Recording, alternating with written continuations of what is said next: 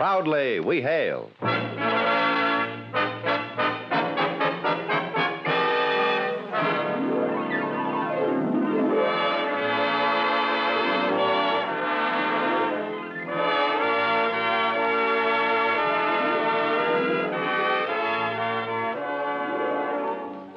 From New York City, where the American stage begins, here is another program with a cast of outstanding players. Public service time has been made available by this station for your Army and your Air Force to bring you this story. As proudly we hail the United States Air Forces in Europe.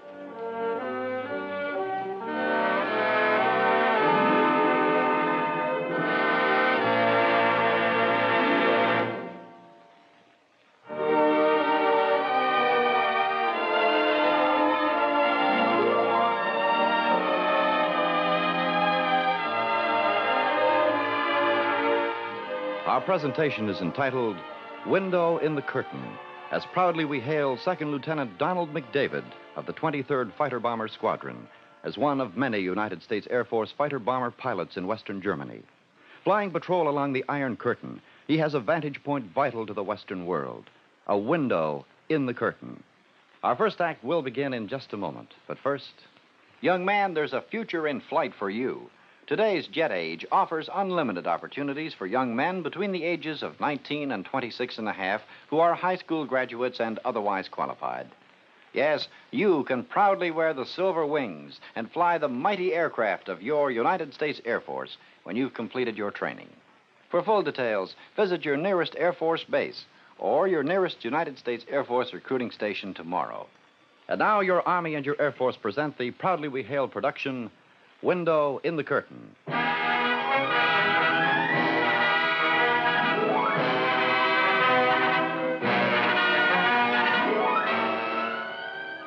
When you're 21 years old and a brand new qualified jet fighter pilot, you keep telling yourself, like they say it on the radio, Second Lieutenant Donald McDavid, life can be beautiful.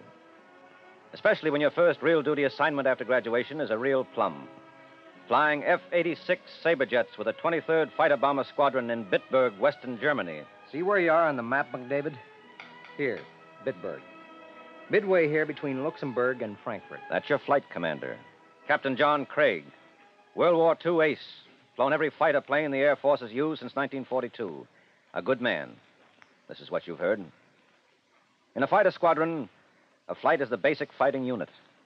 In the air, this unit is made up of two elements of two planes each, led by the flight commander. He'll be the leader, instructor, father confessor, shepherd, commander of the flight to which you're assigned. So you're glad of what you've heard about him. Now that you're checked into the squadron and starting your three year tour, he's giving you the word. Bitburg, headquarters of the 36th Fighter Bomber Wing, one of the fighter bomber units of the 12th Air Force. Now, the 12th Air Force has got six wings scattered strategically. Here at Bitburg, you're 150 miles to the Russian zone in Germany, over here. I didn't realize we were so close to them. Close. We're just across the street from the Ruskies. Less than 25 minutes from here to the curtain. That's why we're here. To uh, keep them 25 minutes away? Uh, partly. Our primary mission, of course, is to act as part of a defensive force standing ready to retaliate in the event of an attack. Sounds like we have our hands full. Or whatever the F 86 can do, and that's plenty, we'll be doing. And that's the kind of training you'll be getting all during your three year tour. Training? Oh, it sounds like I'm still in cadets. Oh, kid, in this business, you never stop learning and training. You're a pilot, McDavid. The Air Force can't ever let you get rusty. I read you. Now, this will be different than cadets. You've got those wings now. You're one of the boys. We're all in this together. I sure hope so. I had cadets. Now, another thing, you never know when you'll be up there training and then playing for keeps. I see what you mean. The real McCoy's only 25 minutes away. Check. Now, let's go meet the rest of the flight, the boys you'll be flying with.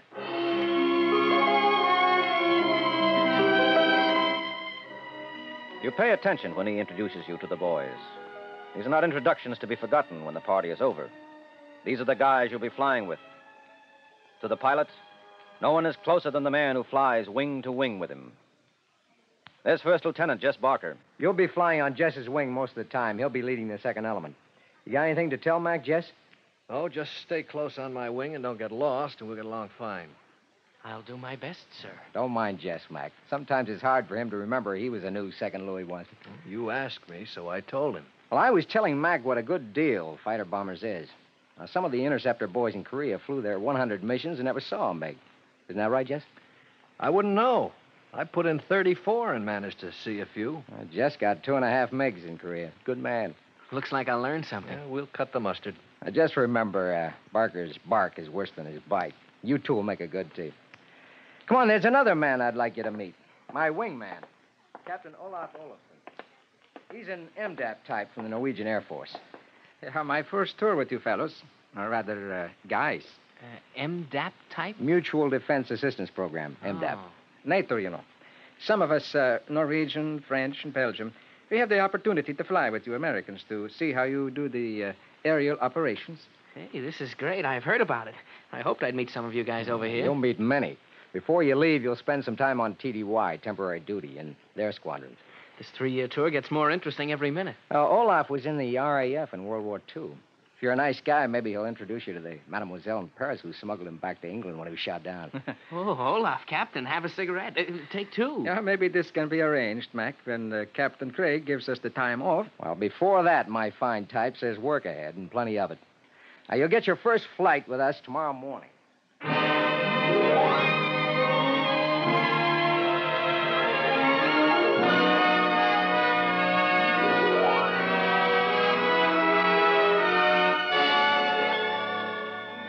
And for the next two weeks, Lieutenant McDavid went through an extensive ground and air checkout to acquaint him with the flying procedures and ground responsibilities. An officer new to the Air Force establishment in Europe. Okay, guys, let's get the coffee cups out of the way and get down to business. Now, what's it today, boss? Schweinfurt Gunnery Range for glide bombing and strafing. Uh-huh. Now, for Lieutenant McDavid's benefit, I'll explain that this flight, like all others we fly here, will accomplish much more than that, however. Now, to get to Schweinfurt, we'll simulate a low level penetration of enemy territory. That'll give us low level navigation. On the way, we'll navigate to a simulated enemy command post at these map coordinates. Now, mark these down on your flight cards X ray yoke 136 284. Now, after we've identified the command post, we'll proceed to the gunnery range. Now, upon expending ordnance, we'll go to altitude for simulated dogfighting and then return to base and make a ground controlled approach instrument landing. The call sign of the flight will be Foxtrot Red. Red 3, Jess, uh, you'll take over the flight after join up and lead us to the command post. A few minutes later, the four of you are in the air, joined up in a glinting, silvery four ship finger formation, roaring at better than 500 miles an hour across the German landscape in a low level dash. And in your earphones, you hear Captain Craig calling your leader, Jess Barker. Red 3, uh, this is Red 1. You ready to take over lead of the flight? Over. Affirmative, Red One. We'll hold this 80 degree course to map coordinates X-ray yoke 136-284. Over. Okay, Red 3, you got it. We'll position ourselves behind you. Don't get any closer to the deck than this. Out. Roger and out, Red One. High in the air, with nothing to compare it to, the jet pilot has no feeling of speed. But here on the deck, skimming swiftly at treetop height, your fantastic speed is the headiest of wines and the most sobering. The ground races blurringly under your nose like a speeded up conveyor belt. A house is seen, distant ahead, sprouts larger, then darts beneath you breathlessly, and then is far behind. Red One, this is Red Three. Command post below at 9 o'clock. Nice navigating, Red 3. That's her. Ever see a forest like that, Red 4? Negative, Red One. They don't grow 'em like that back home. It's shaped like a, a perfect arrowhead. Well, they aren't as big as back home, but in Germany they sure keep them prettier. Yeah, Norway is just one big forest. Okay, Red 3, take us over to Schweinfurt. Down to the deck again and take a heading of 085 degrees. 085 degrees. Roger, Red One, and out. At the Schweinfurt gunnery range, Captain Craig resumes leading the flight, taking you up to glide bombing altitude. Then, single filed behind him, you all clobber the mock tanks at the north end of the rectangular range. When the bombs are gone, he leads you in strafing runs on targets at the south end of the range. On the ground below, range attendants score each pilot after the firing is completed to help prepare him for the day he fires for score.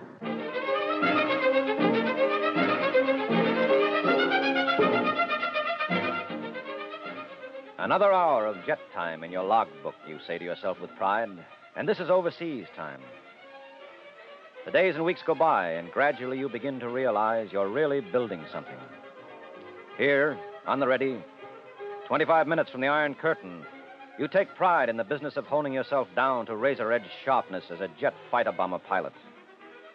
And you take it all seriously night flying, instruments, navigation, dive bombing, rockets, strafing. But there's one thing missing air to air gunnery. A two and a half hour, 1,300 mile non stop flight, and within five hours, the entire squadron, officers and airmen, is bivouacked in a huge Air Force tent city in the desert outside of Tripoli, taking its scheduled turn at the gunnery range for an intensive two weeks of firing. At 0415 the next morning, you're on Craig's Wing, several miles offshore, over the blue Mediterranean. Below, at 10,000 feet, to your left and behind, a B 26 is towing a 30 foot by 6 foot piece of canvas. Object?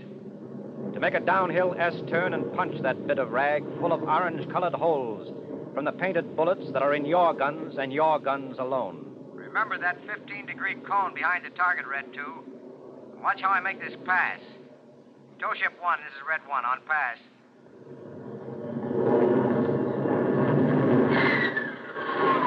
A thing of beauty, a masterpiece of maneuverability, of graceful coordination. The test of a fighter pilot. Simple, eh, Bucko? well, I'll soon find out. Tow 1, this is Red 2, on pass.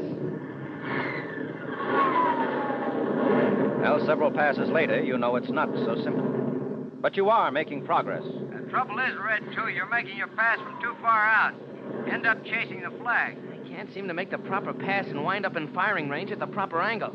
Move your downwind leg in about five miles. That'll force you to make a tighter pattern. Rod's Red 1. I just can't seem to get on this beauty. That's okay. This is your first go at it. Don't feel bad. You get the hang. Still outshoot our Korean hotshot. And a few flights later, the fourth morning, suddenly everything falls into place pattern, sighting, firing. And you're ready to qualify. The gunnery officer pulls your red card. You go up and fire for qualifying score. And when the rags are brought back after your four required consecutive missions, you've qualified as an expert. Top rating with 63% hits. In high altitude gunnery, the whole procedure is repeated. And this time your score, like everyone's, drops. But not enough to prevent you from qualifying as expert again with 51% hits. That makes you top man in the flight in score after Captain Craig, with Barker two points below you and Olaf close behind.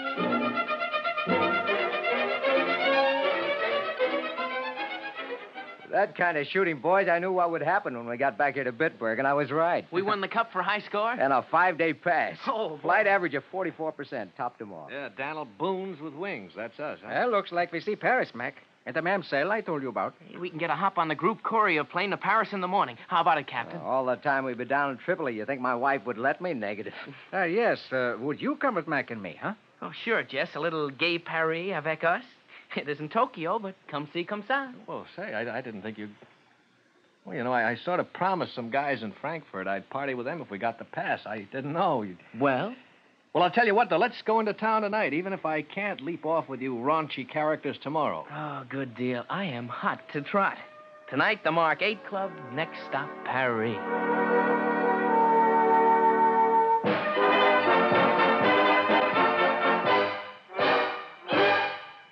You are listening to the proudly we hail production, Window in the Curtain. We will return in just a moment for the second act. Young man, an interesting career lies ahead of you if you can qualify as an aircraft observer in your United States Air Force. As a flying officer, you'll be an important member of the fighting team on one of the great aircraft produced in this era of jet aviation. The United States Air Force needs these technical specialists, officer personnel skilled in navigation, aircraft maintenance, radar interception, and other important skills. There's a future for you as an aircraft observer in your country's Air Force. Can you qualify? Well, if you're single, between 19 and 26 and a half, and a high school graduate, visit your nearest Air Force base or your nearest United States Air Force recruiting station and find out. You are listening to Proudly We Hail, and now we present the second act of Window in the Curtain.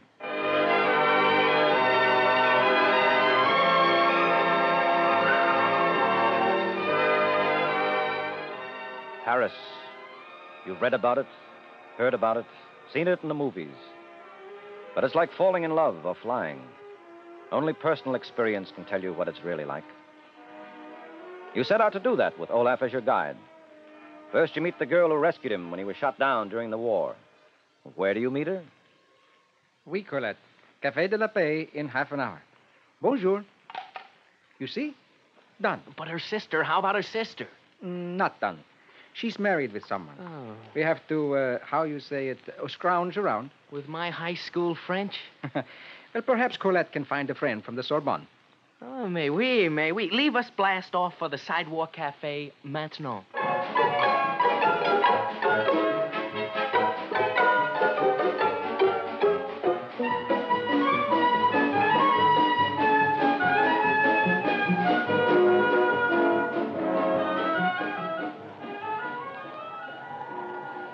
From on top here, you can see all of our city. Over there, Notre Dame, and there the Arc de Triomphe, and all around the Seine. Oh, I see something much closer. Oh, he means that blonde girl by the railing. Oh, but yes, Paris is a sightseer's delight. Red 2, this is red 4 on pass. Uh, remember, Mac, a correct pattern is necessary to approach target. uh, mademoiselle, uh, voulez-vous dites-moi comment... Uh, how high... Uh, en haute nous sommes? Mon lieutenant, le livre dit nous sommes 300 mètres. Euh, Pardonnez-moi, mademoiselle, euh, mais euh, parlez-vous anglais? Il n'y a, euh, possible? What I mean is a lot better than either one of us speak French. Mon Dieu, an American! hey, Olaf, Colette, look what I found!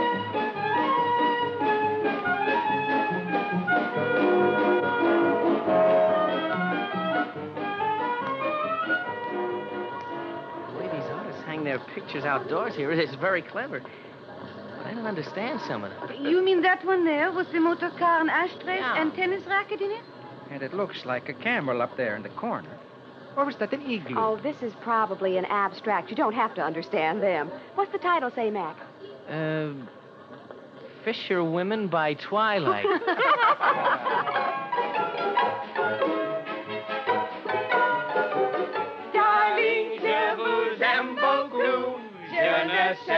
sais pas what to do.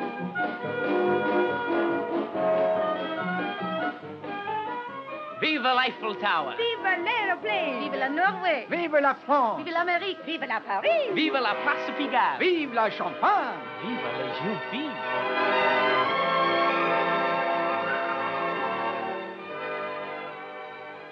And suddenly the five days are gone and it's all over. Addresses exchanged, plans made for the next leave, a snapshot for your wallet. Then back to Bitburg to prepare for the biggest deal of the year Operation Attention, a NATO air ground war exercise. All leaves are canceled. This is to be maximum effort for all squadrons, just as it will be for all ground force units of all the participating countries Britain, France, America. At squadron briefing, it's explained that the purpose of NATO exercises is to test the offensive and defensive capabilities of air and ground forces in Western Europe and the abilities of the staffs to function as one. Your squadron will operate off an auxiliary airstrip in eastern France. Just as in the Tripoli flyaway, the whole squadron will pick up and move to its temporary base. In a matter of hours, you're on a strange single landing strip in France. A squadron blossoming around you as tents are pitched. And you're ready for Operation Attention. Early the next morning, your flight is in the briefing tent. Outside in the dark, you can hear the sabers from another squadron taking off. And inside, you get briefed for the first day of the operation. As you know, the participating forces are divided half aggressor force, half defender. As defenders, our squadron's mission, as directed by Joint Operations Center of the Air Force Ground Forces, will be armed reconnaissance of this rectangle. Now, from Würzburg to Fulda Kassel to Fritzlar and back to Würzburg. We're to hit the road network, clobber any and all movement there. Now, as you know, umpires will be on the ground and in the air, so we really have to do the job to be credited with a successful mission. Remember, no fooling around. This is under strict combat conditions. All right, let's go.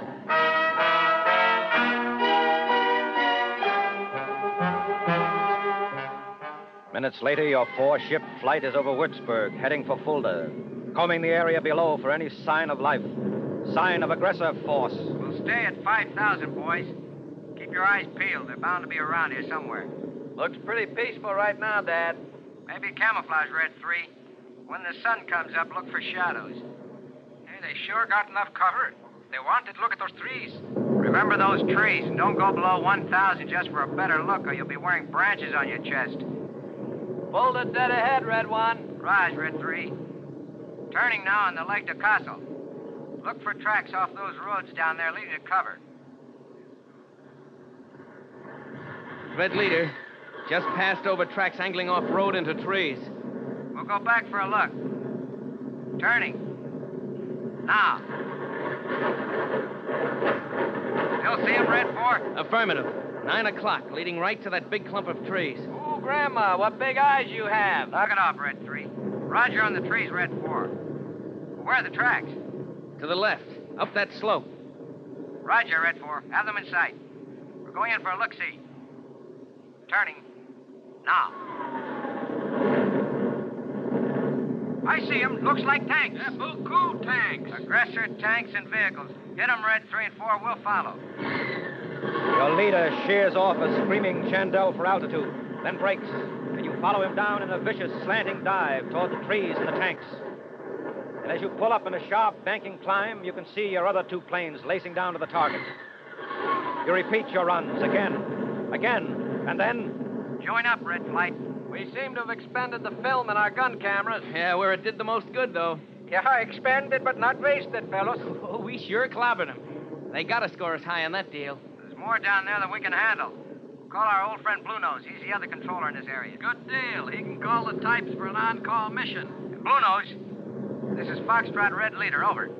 Come in, Foxtrot Red Leader. I got a package for you over here. Tanks and vehicles and what else. They've expended ordnance and low on juice. Understand, Foxtrot Red. What are your coordinates? Queen Yoke 135-973. You got it, Blue Nose? Queen Yoke 135-973. Have on-call flight in vicinity. Continue on pre-brief reconnaissance until you must return to base. Over and out. Roger and out. That'll be any minute. According to my fuel counter, we're about to return to Pigeon.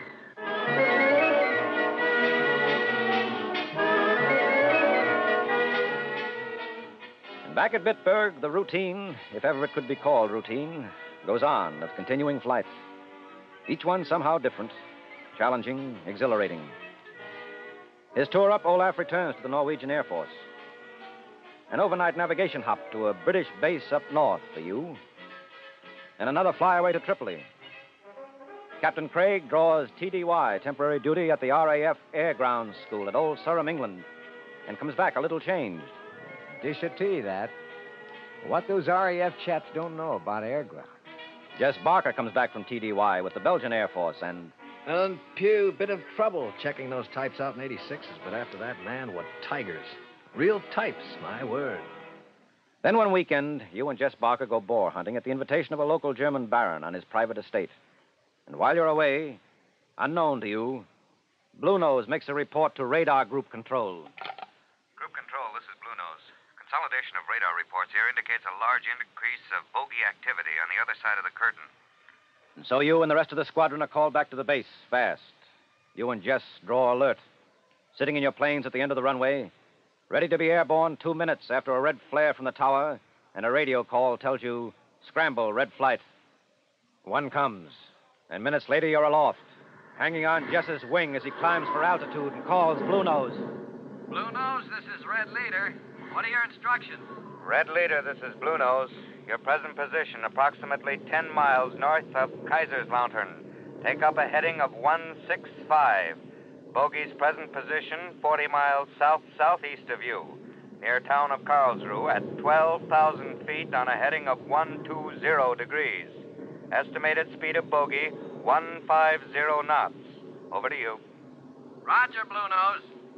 Seem to be breaks and overcast that vicinity. We'll check when we break through. Red Leader, change your heading to 160 degrees. Bogey will then be at 12 o'clock, approximately 12 miles. Roger, Blue Nose. Turning, Red 2. Keep your eyes open for that bogey. Roger. Hey, tally ho, Red Leader. Bogey, 12 o'clock, low.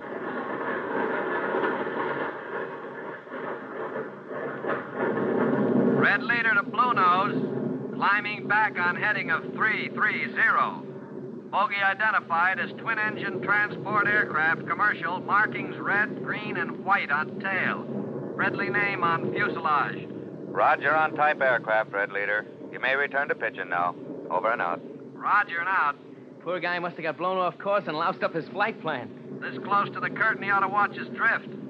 Hey, hey, check that aircraft the other side of the curtain. Three o'clock, way off and high. Could be a MiG. And so could this one have been, buddy. And now you know what it all adds up to. Sitting up here on top of the sky in your saber jet, the Iron Curtain on one side, the Allied countries on the other, you know suddenly and clearly why you're here. You're one of the few who can see far to the other side. Up here, you're a defender of right, guardian of peace. And should that peace take the wings of war, you'll be among the first to see it coming through your window in the curtain.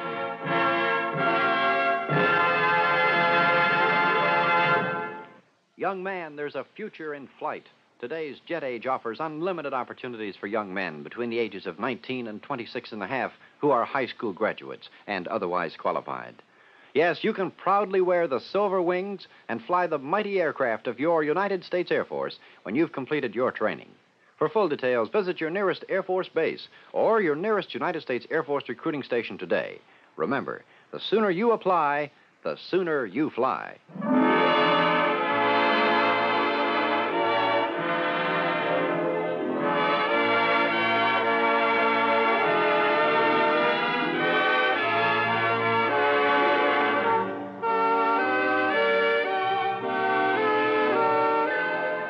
This has been another program on Proudly We Hail, presented transcribed in cooperation with this station. Proudly We Hail is produced by the Recruiting Publicity Center for the United States Army and United States Air Force Recruiting Service. This is Mark Hamilton speaking, inviting you to tune in this same station next week for another interesting story on Proudly We Hail.